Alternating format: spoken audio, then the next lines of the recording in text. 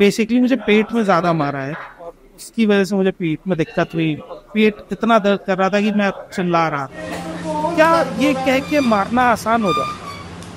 उसको ये नहीं समझना कि किसी को मुन्ना कह के जब आप मारते हो तो आप इस कॉन्फिडेंस में होते हो कि आपको सपोर्ट मिले। लिंचिंग पर आप स्टोरी करना is a other part face करना वेरी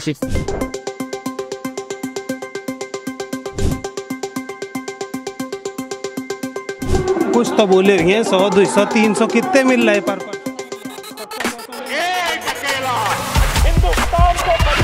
देखा देखा नहीं हो मोदी जी का। मोदी तो आई नहीं रहे तो कहाँ ते देख लिया? तो वोट तो मोदी को दिया ना भैया। तुम तो कहो कर मोदी आ रहे हाँ। झूठ ही बोलोगा?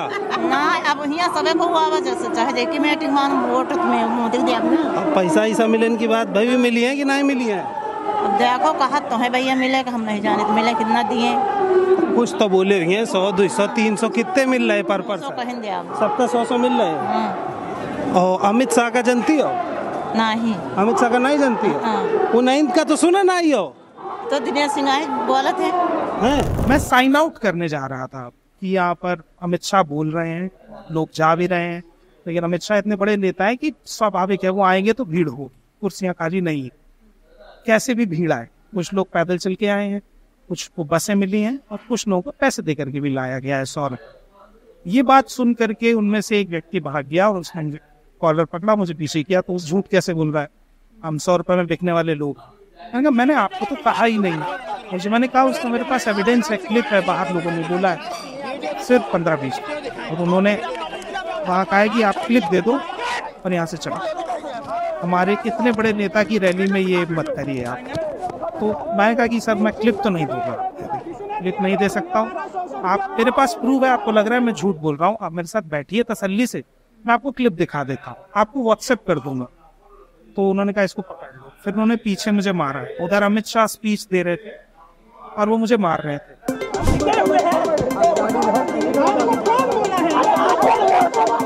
स्पीच खत्म हुई तीन, चार मिनट बाद। और फिर वो मुझे मारते हुए धक्का मारते लॉबी में लाए हैं और फिर उन्होंने चिल्लाना शुरू किया है कि मुल्ला है, देशद्रोही है। क्यों मुल्ला है मुझे नहीं समझ में मेरा ये कार्ड मेरे गले में था। इसमें मेरा नाम बड़ा बड़ा राघव त्रिवेदी लिखा हुआ है। मैं कार्ड भी दिखा रहा हूँ क्योंकि एक फियर आ गया मेरे अंदर कि अब जिस तरह से मुझे मार रहे हैं, मुल्ला कह रहे हैं तो अब कोई मारेगा तो पूछेगा नहीं मुझसे। अब मैं यहाँ तो नहीं लिखवा सकता, मैं ब्राह्मण हूँ। पर हूँ भी तो क्यों लिखाऊं? जस्ट बिकॉज़ मेरी दाढ़ी बड़ी है तो बाल बड़े हैं तो क्या आउटलुक से आप किसी का रिलीजन जज कर और ठीक है मैं मुल्ला भी हूँ मान लो। एक टाइम को मैं मान लेता हूँ। तो क्या मुस्लिमों को जर्नलिज्म करने का हक नहीं? कोई बोल दे रहा था आतंकी है ये डिस्टर्ब करने आए हमारी रैली कैमरा छीनो इसका। तो हमारे कैमरामैन से कैमरा छीनने की कोशिश हुई। दो तीन बार मारा था कैमरे पे। इसलिए ये था कि अ, समझ में आ गया कि अब तो डेटा तो अब नहीं बच पाएगा तो वो लास्ट में ये बोलने लगे, कैमरा तोड़ो कार्ड से डिलीट करो डेटा डिलीट करो, क्योंकि सारा सबूत उसी में था। तो राघव ने इशारा किया कि तुम कैमरा लेके कहीं साइड हो जाओ। तो कैमरा लेके मैं, बल्कि लास्ट तक कैमरा, जहाँ पे मीडिया सेक्शन खड़ी होती है वहाँ तक मैं था। फिर उसके बाद बहुत ही ज़्यादा वाइल्ड होने लगे वो लोग वहाँ पे, कि अब मार देंगे या डिलीट हो जाएगा, सबूत हमारे से मिट जाएगा। तो सबूत बचाना भी था तो मैं कार्ड वगैरह कैमरा लेके धीरे धीरे साइड हो गया। बट था आसपास ही और जब मार रहे थे टेंट के, स्टेज के पीछे टेंट में तो मैं साइड में था बट अपना आईडी कार्ड छिपा लिया था कि मुझे पहचान ना पाइए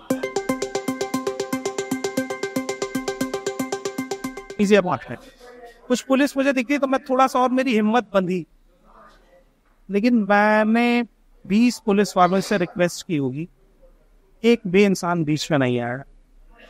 मैंने उनके हाथ पकड़े। पुलिस वालों के आप मैं उनका हाथ ऐसे पकड़ रहा था कि शायद छोड़ ना पाऊँ। क्योंकि इनके साथ रहूँगा तो शायद मारेंगे नहीं ना पुलिस के साथ।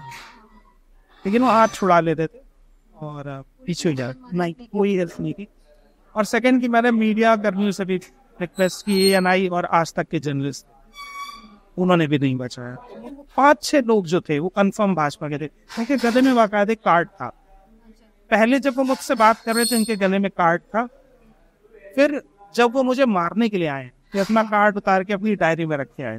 ये चीज़ रिकॉर्ड में है। मैंने उनसे कहा कि आप बात कर रहे हैं ना आप एक कार्ड टांग लीजिए मैंने अपना टांगा हुआ है। आप फिर मुझे गाली दीजिए जो भी करिए आप अपनी आइडेंटिटी मत छुपाई उन्होंने मारा है और फिर कई और सीनियर लीडर आए। तो उन्होंने मुझको पकड़ा उन्होंने कहा कि अभी तुम मुझे जानते नहीं हो मैं कौन हूँ? तो तुम एक काम करो चुपचाप हमारे साथ पीछे चलो तो मुझे थोड़ा ट्रस्ट सा हुआ कि 25 लोगों के बीच में रहने से अच्छा है कि मैं एक इंसान के साथ चुपचाप पीछे चला। रेस्ट रूम में ले गए और फिर मुझे लॉक किया है। फिर कहा कि आप कैमरा मैन बुला लो। क्लिप दे दो, हम आपको छोड़ देंगे। नहीं तो आपको घर ले चलते हैं वो आपकी खातिरदारी। फ़ोन छीनने की कोशिश कर रहे थे क्योंकि उनको लग रहा था शायद फ़ोन में भी कुछ हो। तो फ़ोन मैंने सेफ़ रखने की कोशिश की। एट द एंड फिर मैं इतना डर गया कि मैंने कहा सर मुझे इस कमरे में सफोकेशन हो रही उल्टी आने लगी थी मुझे वॉमिटिंग तो फिर उन्होंने बाहर निकाला पानी और मैं वहाँ बेहोश हो गया।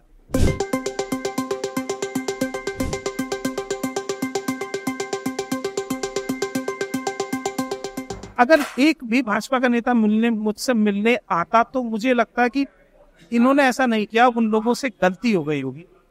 कोई मिलने ही नहीं आया तो ये स्टैंड तो क्लियर है कि आपको इस चीज़ पे कोई अफसोस नहीं है।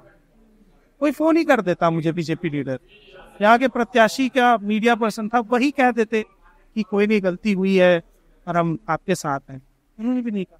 तो इसका मतलब है वो भी इस चीज़ को एंजॉय कर रहे थे। जैसे आज मैं पीटा जा रहा हूँ और पीटने वालों को नहीं पता है वो क्यों पीट रहे हैं। आपने मुझे नहीं बचाया। कल ये आपके साथ भी होगा।